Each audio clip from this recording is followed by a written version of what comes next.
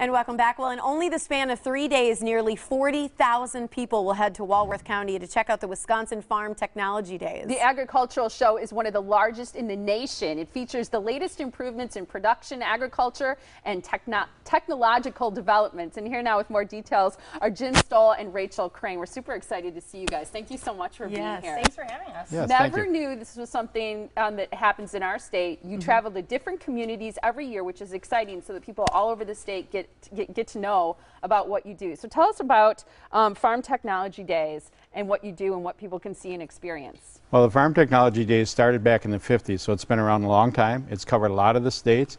Uh, our Walworth County show is the farthest south we've ever been and the first time in the Walworth, Racine, Kenosha area. Awesome. So we're excited to have the show down there. There is a state board that kind of oversees the overall operation, but it's turned over to our local committee to, to run the show. Mm -hmm. And I'm chairman of the executive committee, and Rachael's one of the members of the executive committee.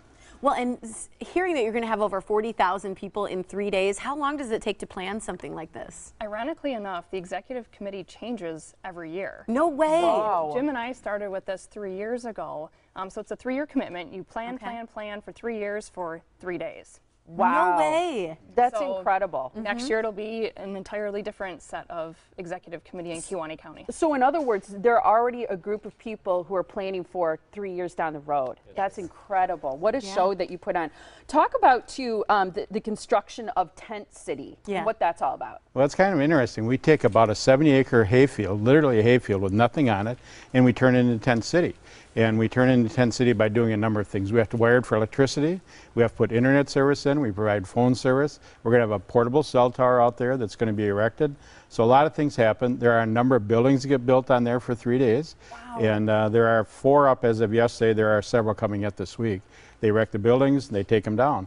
But in addition, we have about 500 exhibitors or more, so we have to provide space for that many exhibitors as well. This is wow. so cool. I mean, just this rendering is beautiful. I mean, this is so gorgeous. This is real drone video, actually. Yes, oh my gosh. Last year. That's fantastic. Okay, so how about the food? Because going to a, a farm uh, technology days, I expect that some of the exhibitors are farmers or food or local fare. Well, we're really excited about the food this year. We have some special things coming up. Um, our food committee has done a great job with a local chef. We have pork bowls that are going to be offered, shepherd's pie that's going to be offered. Mm, I love that. Mm -hmm. And then it, it's Wisconsin. It wouldn't be Wisconsin without brats and cheese curds. so we'll have a different brat of the day um, as well. Oh, that's so cool. So different toppings, kind of like, or different no, different brats? flavoring. Okay. Yes. Oh, that is so cool. Mm. I love it.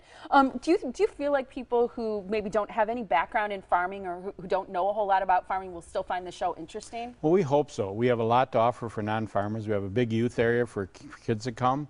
They can actually touch and feel some things and see where their food comes from.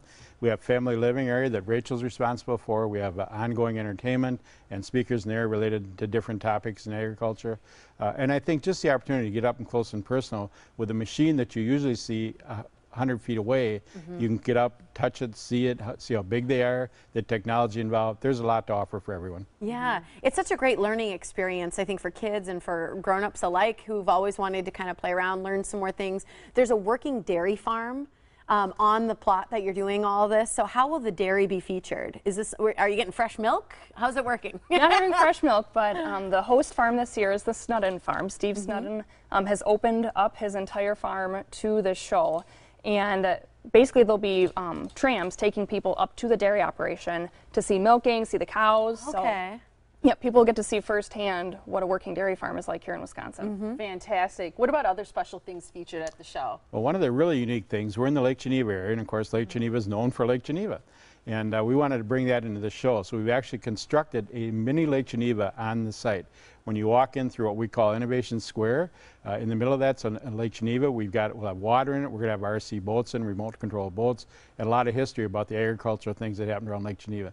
So it's really something we're excited about. Hope people enjoy it and, and want to get down to see it. Yeah, and if people aren't um, as mobile, maybe they can't walk quite as much or see all the grounds, are there ways to get around? Yes, we do have mobility carts available. Okay. We are telling people to go online. Um, it's wifarmtechnologydays.com. Mm -hmm. um, you can reserve your mobility cart online oh, that's ahead nice. of time. That's nice that you're making that mm -hmm. accessible to people. It's wonderful. This is great for urban people, city people too. Head on out to Farm Technology Days. How exciting that it's in um, Lake Geneva at Snudden Farms this year. It's July 19th, 20th, and 21st in Walworth County. Um, you can also go to WIF, so it's, it's WI for Wisconsin, farmtechnologydays.com. Wonderful to meet you guys. Thank you Thanks so for much being sharing here. with us. Thanks Thank for having you. us. Enjoyed Yeah. it.